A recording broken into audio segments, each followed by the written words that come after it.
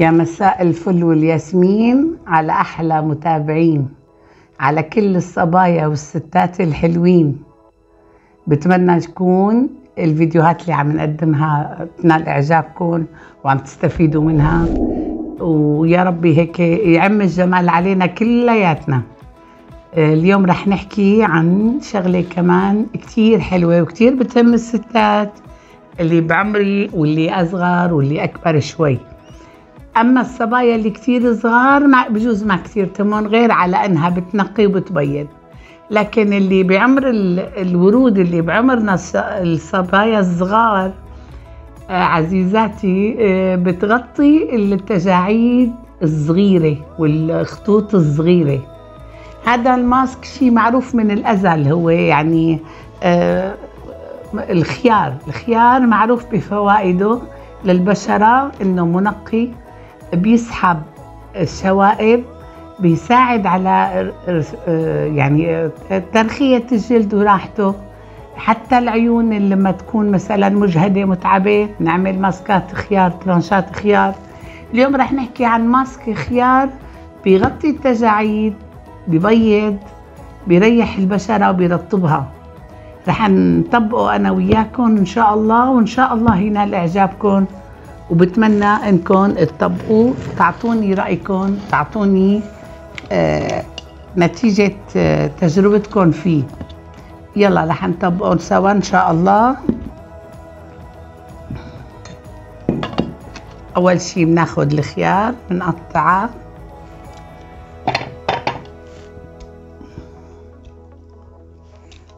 لازم نطحنها بطريقة كتير كويسة على أساس إنه نقدر نوصل للعصارة اللي فيها بأكبر قدر ممكن.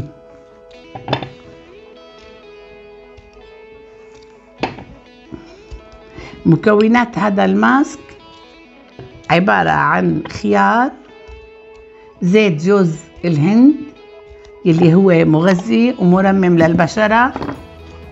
رح نطحن الخيار بطريقة مضبوطة. نحاول ناخد قد ما نقدر العصارة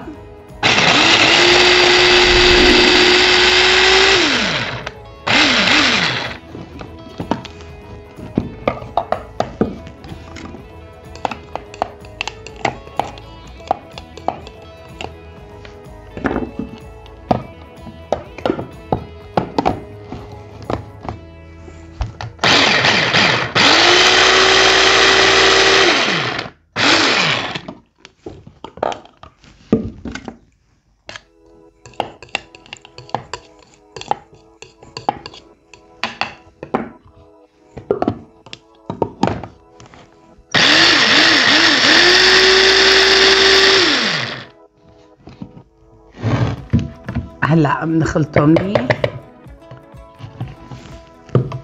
بناخد المادة اللي في اللي طلعت. نحاول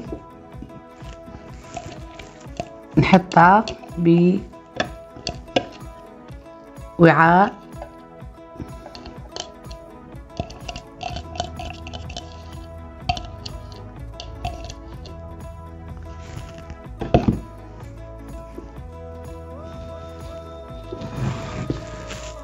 نحاول نضغطها هيك بإيدينا على أساس تطلع العصارة مزبوط. وهلأ حبايبي رح من نحاول إنه نضيف لها زيت جوز الهند. أنا مضطرة أحطها بالوعاء الأكبر هذا على أساس إني أقدر أمزج.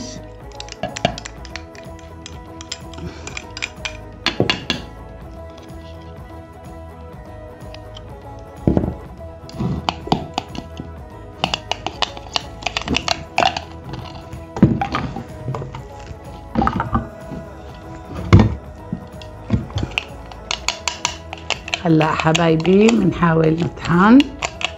نخلط نخلط على أساس تتجانس وتصير مثل العجينة.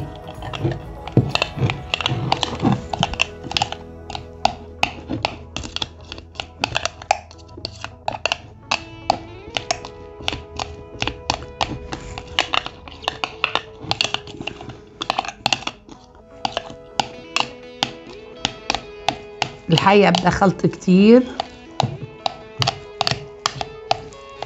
حتى تعطينا قوام مثل العجينة مشان نقدر نفرده براحتنا على البشرة.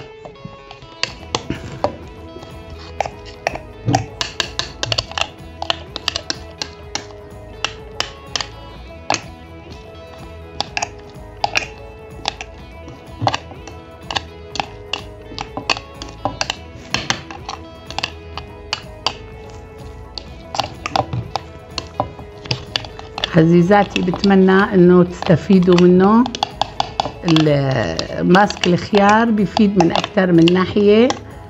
آه ببيض بيسقل بشيل تصبغات نوعا ما. وأحلى ما في هذا الماسك إنه بغطي التجاعيد الصغيرة. بناخذ منه مثلا هيك. أنا طبعا مضطرة أطبقه على إيدي مشان ما أضطر أقوم أقطع الفيديو وغسل. هلا حبايبي بندهن بطريقة إنه نضمن. طبعا بينترك هذا الماسك على الوجه 15 دقيقة تقريبا. نحاول ناخد طريقة وضعية استرخاء ونريح أعصابنا نريح وجهنا ونرجع راسنا لورا ونضب شعرنا ونخليه ياخد الوقت اللي هو يحس إنه والله الوجه ارتاح فيه واستفاد. يعني بده أقل شيء 15 دقيقة. بعدين بينغسل هذا الماسك بالصابون تبع الأطفال اللي ما فيها أي قلويات للستات اللي ممكن تقرف من ملمس الزيتي. أما إذا الست ما عندها مشكلة ممكن تغسله بمي فاترة وتترك جوز الهند بقايا على البشرة. بالعكس هو مغذي جدا. ومفيد وبيعدل آه، آه، يعني بدنا نقول خلينا نقول بيعدل رطوبة البشرة وبيخليها مرنة ولينة. بتمنى إنه تطبقوا هذا الفيديو وتشوفوا الفائدة العالية اللي له آه، وتقولوا لي عن النتائج اللي بتحصلوا عليها. بتمنى تعملوا لي share و like وتشاركوا بقناتي ومشان الفوائد تتم علينا كلنا وأنا بكبر فيكم. بتمنى يا رب تضلوا بألف خير والله يسعد أوقاتكم. وللقاء بفيديو تاني كمان عن التجاعيد الصغيرة.